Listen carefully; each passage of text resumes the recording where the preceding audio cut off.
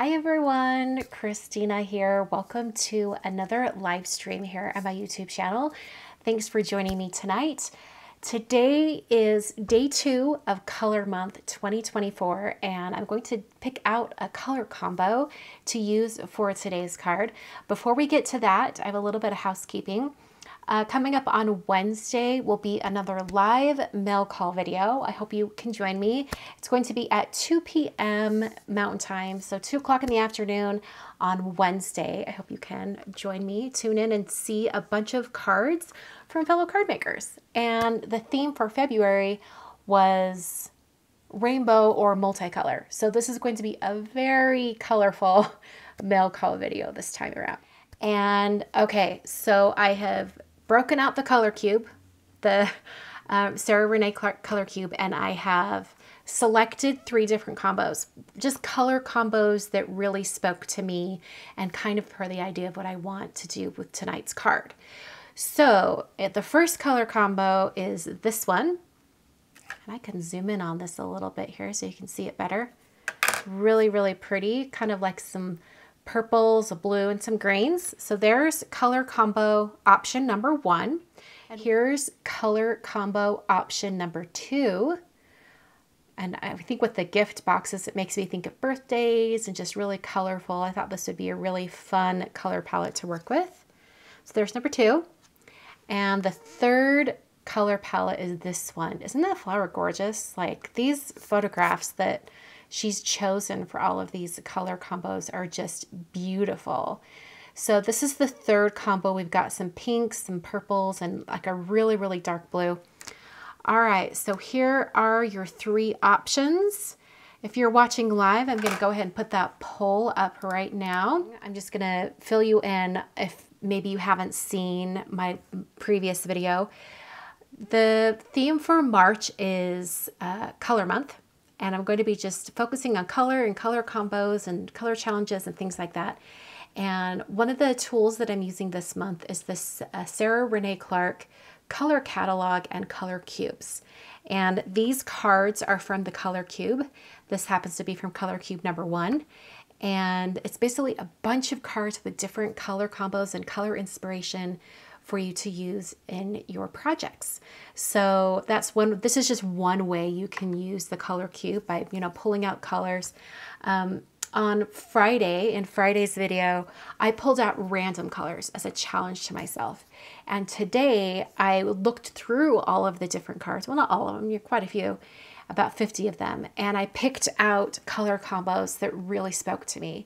So this is another way you can use it you can go through and pick out ones you like instead of having it be random.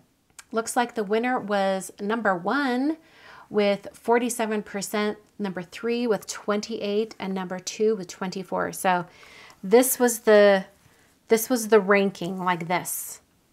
Such fun color combos. Um, maybe I'm just really digging the purple vibes because all of these kind of have like a purpley pink shade to them. Isn't that interesting? Okay, so I'm gonna set these two aside. I've actually already pulled colors for all of these. I should all be so proud. I did prepping for this. so um, here are the ink colors that I've chosen. And here they are in kind of the same order that are shown on the color palette here. So I've got Amethyst from Simon Says Stamp, Opulence from Pink Fresh, Got Galaxy from Says Stamp, Aegean from Simon, as well as Tide Pool. Is Hot Mama closer? Hot Mama might be closer. Yeah, I think Hot Mama is closer. We'll swap that out. So the stamp set that I'm going to be using today, I've actually got a couple. Um, this, this one right here from uh, Pretty Pink Posh. This is the Decorative Hearts stamp set obviously a Valentine's Day stamp set that came out a couple months ago. But I just really loved this kind of heart idea where you have a solid and then a pattern on top. And I thought that would work really well with some of these, like, you know, a lighter color with a darker color stamped on top or, or something like that. So I thought that would work well. And to mix it up just so it's not a Valentine's Day card, I thought I'd grab this Bold Messages 2 stamp set. This is from Simon's Rainbow Splash line of products. And I'm going to be using the Sending Hugs greeting. I thought that'd be really fun. This is the basic card design for tonight. I wanted to get sort of like a map or a plan for what I wanted to do with my card. So I thought first I'd start by stamping the sentiment. Actually, yeah, we're to stamp the sentiment first because I want to do heat embossing with it. I thought since I'm to be stamping so many hearts, let's make it worthwhile and do two cards at the same time. I'm to swap out the card base color for each. And then I'm to place, oh, hello, that's like the wrong size. That's okay. It'll hang off the edge. Put that right there. And then I'll get my little stamp set. I'm going to put that sending hugs right there right in the center. Pick that up. All right, and then I will use my anti-static powder tool just to prep this. And then I'm going to stamp in Versamark ink.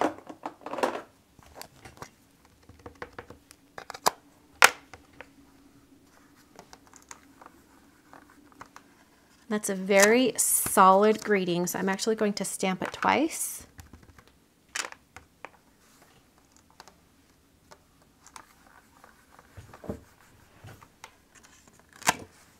And then I'm just going to bring in that other card base down into that corner.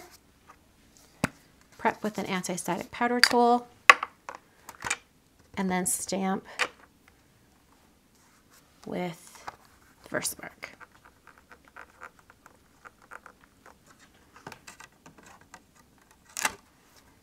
All right. Stamp that again, just like I did on the other card base. All right. Grabbing some gold embossing powder. This is Gilded Embossing Powder from Brutus Monroe.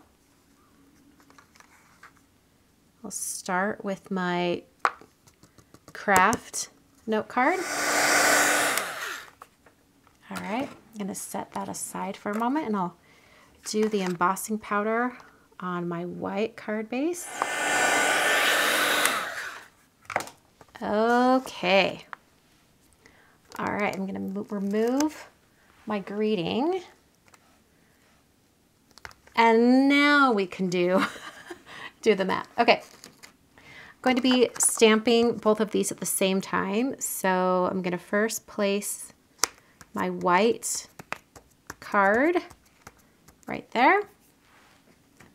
Then I'm going to put my clear mat down and I'll do the craft colored one right on top. All right, and now I can swap these interchangeably as I work. So I thought it might be helpful to already have this so I can stamp a couple of the hearts at the same time. So I thought that would speed things up. So like I'll have different colors going. So...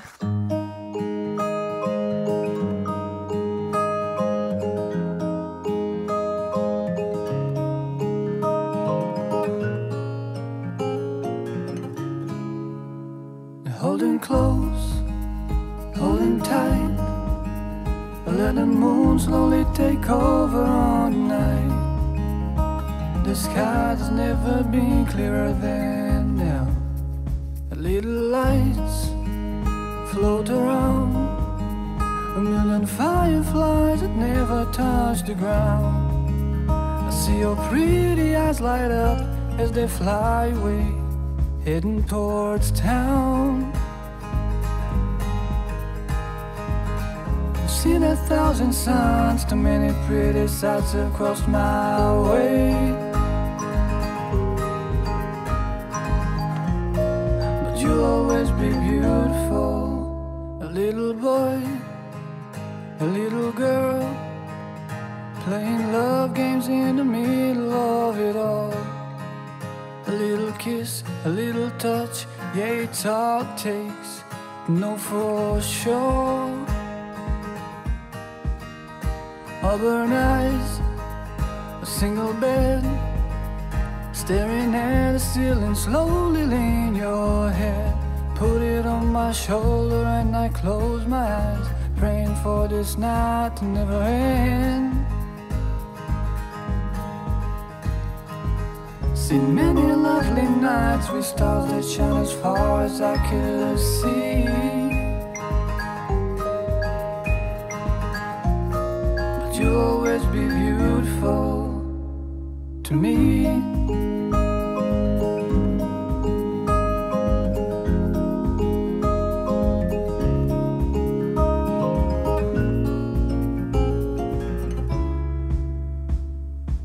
Seen many lovely nights stars that shine as far as I could see.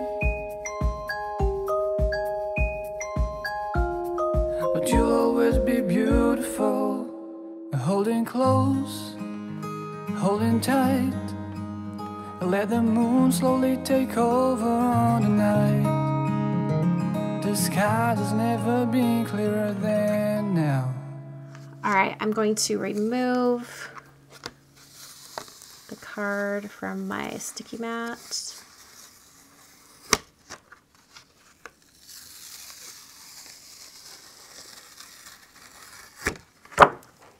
Put down a little bit of paper to catch the ink as I use it. And I'm just gonna tape that to my glass mat so it doesn't move around on us.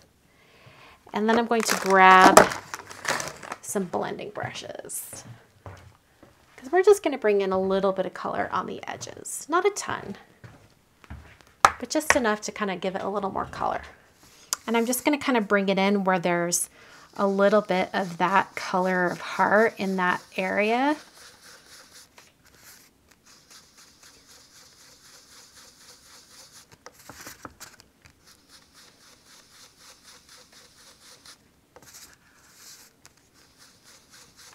So eventually I'll have color going all the way around the card, but I'm just going to skip over ones where the teal card or the teal heart is right up against it. So now I think I'm going to take, do I want to go straight to a Aegean or should I do Tidal? I'm going to go straight to a Aegean. And this is mostly going to fill in those gaps in color. Add that around. There we go. Now I've got color around all those edges.